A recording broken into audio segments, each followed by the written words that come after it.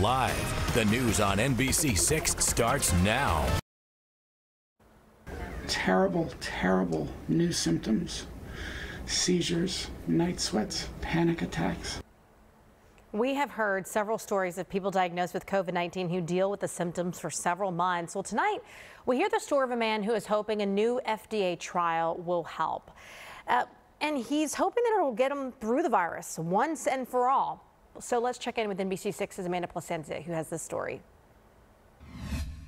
Eli Musser was planning his dream wedding to his fiancee Megan, but then he got COVID last March. We were three months away from our wedding when we got sick.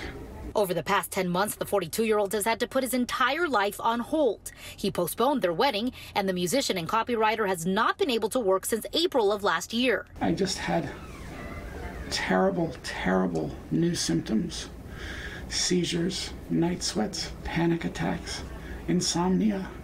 Eli is what some refer to as a COVID long hauler. In late May, I woke up and I wasn't able to use my legs. I couldn't walk at all for the whole morning. According to Aventura rheumatologist Dr. Norman Gaylis, Eli isn't the only one suffering. With COVID, maybe more than 10% of patients who have an acute case, whether it's severe or not so severe, may still months later be having symptoms that are very, very debilitating. And these patients who effectively, by definition, have had symptoms more than 12 weeks after they got COVID are now being called COVID long haulers. He also explained some of the science behind this phenomenon. What COVID does when it invades the body is that it triggers the immune system to produce a cytokine storm where all these so-called antibodies that normally are there to protect the body actually go into overdrive and cause problems wherever they land. Eli has been in and out of emergency rooms and hospitals, but nothing has helped,